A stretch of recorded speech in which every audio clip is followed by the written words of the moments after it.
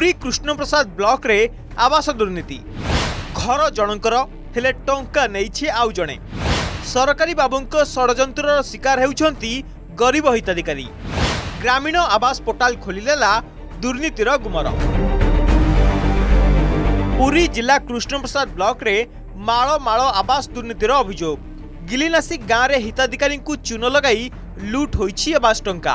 ଚାରି ବର୍ଷ ହେବ ବ୍ଲକ ଅଫିସ ଧାଇଁ ଧାଇଁ ନୟନ୍ତ ହେଲେଣି ହିତାଧିକାରୀ। ହେଲେ ଏଯାଏଁ ମିଳିନି ଫାଇନାଲ ବିଲ୍ ଏବେ ନଜର ପକାନ୍ତୁ ଗ୍ରାମୀଣ ଆବାସ ପୋର୍ଟାଲର ଏହି ରିପୋର୍ଟ ଉପରେ।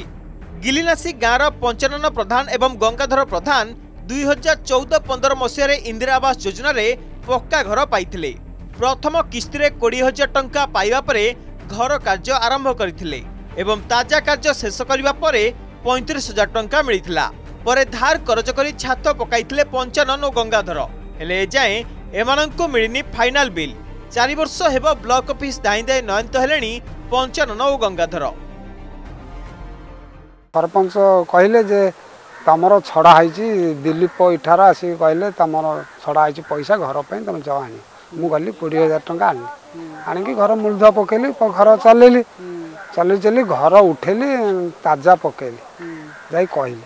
କହିବାରୁ ସେ ଆସିକି କହିଲେ "ନାଇଁ, ତମର ବିଲ୍ ହେଇଛି ପଇଁତିରିଶ ହଜାର ଯାଅ ଆଣି ଆଣିକି ତମେ କାମ କରି ଛାତ ପକ ତମ ପଇସା ପାଇବ।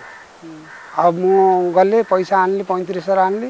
ଇଆଡ଼ୁ ସିଆଡ଼ୁ ଧାର କରିକି କରିକି କାଠୁ ସବୁ ଲୋକଙ୍କଠୁ ଆଣିକି ଛାତ ପକେଇଲି। ଛାତ ପକେଇଲି ବିଲ୍ ପାଇଁ ଧାଇଁଲି ଆଉ। ବିଲ୍ ପାଇଁ ଯାଇଛି ତ ଯାଇ ଯାଇ ଯାଇ ଦଶ ଥର ପନ୍ଦର ଥର ଲୁହାପଡ଼ା ଗଲି। ଯିବା ପରେ କହିଲେ ତମ ପଇସା ସରକାର ନେଇଗଲା। ଆମେ ଯେତେବେଳେ ଫଟୋ ଉଠେ ନାଁ ଲେଖିକିରି ତାଙ୍କୁ ଡାକିଲୁ ସେ ଫଟୋ ଉଠେଇକି ନେଲେ। ଦୁଇଥର ଫଟୋ ଉଠେଇ ନେବା ଭିତରେ ଆମ ଗାଁର ଗୋଟେ ପିଲା ମଧ୍ୟ ସାମିଲ ଥିଲା ସେଥିରେ ନେବା ଭିତରେ ଆଉ ଆମକୁ କିଛି ଦିଆଗଲାନି ନ ଦିଆର ଯେତେ ପଚାରିଲେ ମଧ୍ୟ ସେ କହୁଛନ୍ତି ଯେ ହଁ ଦେବୁ ଦେବୁ ବୋଲି କହିଲେ କହିଲେ ଏବେ ବରଷ ହେଲା କିଛିଟା କହିଲେନି ଆଉ। ଆମେ ଧୀରେ ରହିଗଲୁ ଆମେ ତ ନଥିବା ଲୋକ ଗରିବ ଲୋକ ଦୁଃଖୀ ଲୋକ ଦୁଃଖ ପଡ଼ିଲେ ଖାଇବୁ। ଆମେ ଆଉ ସେଥିରେ ନଢ଼େଇ କରିପାରିଲୁନୁ ଆଉ କି ଦେଲେନି ଆମକୁ ଆଉ। ଶେଷ ହୋଇଛି ପକ୍କା ଘର କାର୍ଯ୍ୟ। ଦୁଆର ମୁହଁରେ ଲାଗିଛି ଇନ୍ଦିରା ଆବାସ ଫଳକ। ହେଲେ ଚାରି ବର୍ଷ ହେବ ମିଳୁନି ଫାଇନାଲ ଅର୍ଥ ବିଲ୍। ସେପଟେ ପଞ୍ଚାନନ ପ୍ରଧାନଙ୍କ ଘର କାର୍ଯ୍ୟ ସରିନଥିବା ବେଳେ ଅନ୍ୟ ଜଣଙ୍କ ଘରର ଫଟୋ ଦେଖାଇ ଟଙ୍କା ଆଡ଼ପ ହୋଇଛି। ହିତାଧିକାରୀଙ୍କ ଅଗୋଚରରେ ତାଙ୍କ ନାଁରେ ଉଠିଛି ଟଙ୍କା। ପଞ୍ଚାୟତ କାର୍ଯ୍ୟନିର୍ବାହୀ ଅଧିକାରୀଙ୍କୁ ପଚାରିବାରୁ ସେ କହିଛନ୍ତି ବାକି କିସ୍ତି ଖୁବ୍ ଶୀଘ୍ର ହିତାଧିକାରୀଙ୍କୁ ପ୍ରଦାନ କରାଯିବ।